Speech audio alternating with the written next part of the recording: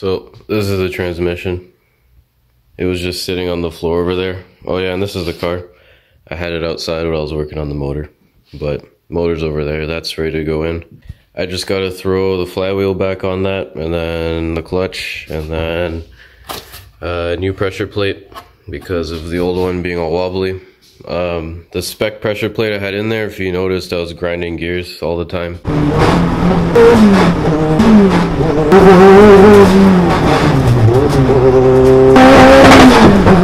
And this is a spec 900 pressure plate, which is actually made for the cable clutch that I use. But this thing is terrible. You have to bottom the clutch all the way out just to get to get disengaged. I played with the cable a bunch and everything. Yeah, see, I, I do run a clutch cable. Uh, had to bottom that thing out just to get it to disengage, which is why I kept on grinding third gear. Um, so yeah, we're going back to the Vigan pressure plate. I like the way that thing feels. It's nice and light. Anyway, uh, I have the transmission here uh, together. And I'm just gonna speed run, take it apart, and then throw the new diff in the F35 diff because we got an F25 in there. And then put it back together, put everything together, motor trans, put it in the car with inner CVs only, no axles, and then just run it. So we split this case wide open.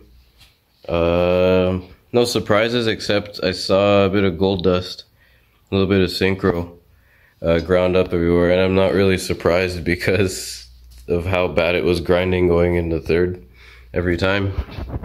Uh, and then upon further inspection, the third gear synchro is just absolutely begging for help. Like look at that, you can see that's the third gear synchro and then fourth gear, see how full those teeth are? And see how the teeth have chunks taken out of them? Look how close the uh, synchro ring is actually to the engagement teeth there. So worn down.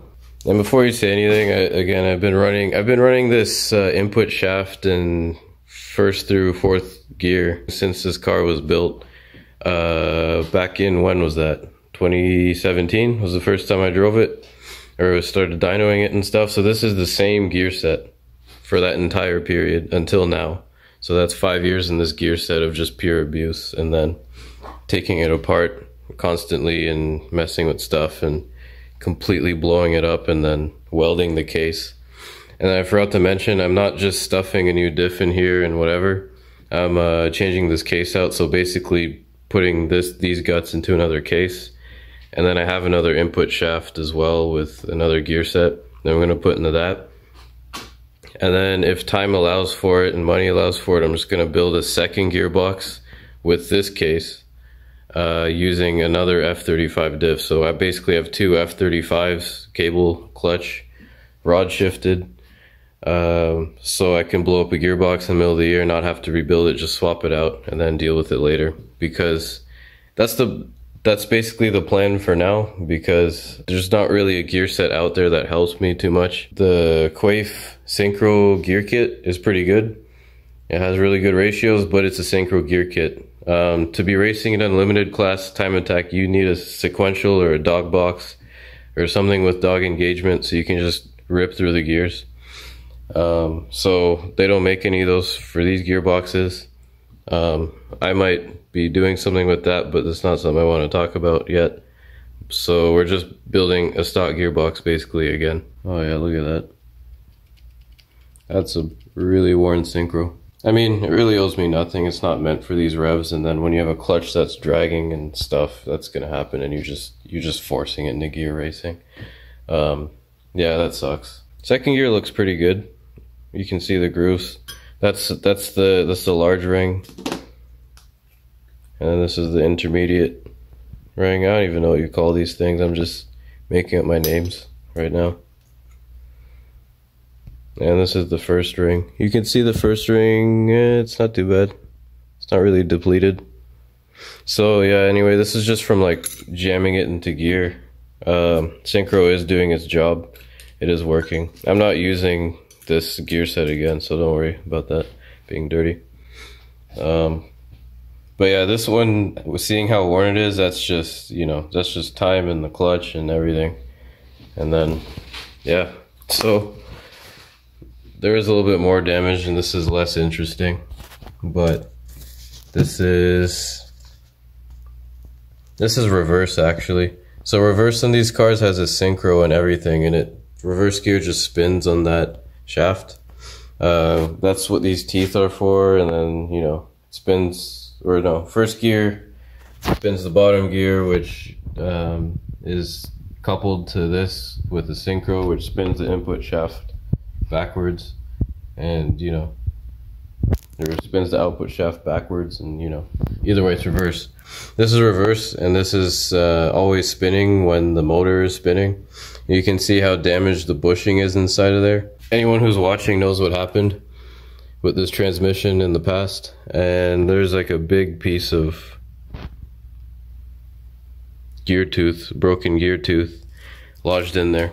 So it basically just sat in there and just ate away at the bushing which is kind of upsetting to know about because I like assembling stuff nice and clean and everything, but you know, when you're racing and you got an event to be at and you just need to put it back together, no matter what state it's in, to just turn a lap because it's time attack, only one lap counts, you just kind of clean it as fast as you can and get it together and go because there's a race to be raced, right? So anyway, that's just minor damage there. Uh, I'm not expecting to see any more damage. This case is already brutalized, like with the ring gear that exploded in here, basically, or the teeth that got shredded right off of it. And then the welds that are on it. So this this whole transmission has been terrorized. Input shaft taken apart. So you can see how low this synchro sits. It's third gear. And you can see how flattened these grooves are. It's hard to see really how bad it is on camera. There, there's always going to be grooves, but they should be a lot deeper. Anyway, that's the worn synchro.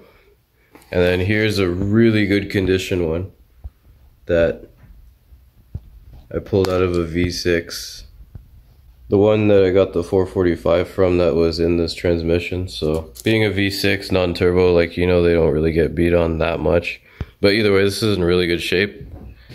And then toss that on, and you can already see visibly how much higher that sits on third gear. So that's just a little analysis of that. I have a weird thing here too. Hopefully, if someone can comment uh, what this is. This is a synchro I just found in my like bin of magical transmission spares. I don't know where this came from. It's a sintered bronze synchro. And it is a 3-4 synchro because it fits. And it's like, hmm, I didn't even know they made sintered bronze synchros for these cars. It's pretty interesting. That's how it looks compared to the rest. I'm not going to use this, I'm just wondering what it's from. If anyone knows, comment please. Teeth on the on third gear is sort of rounded.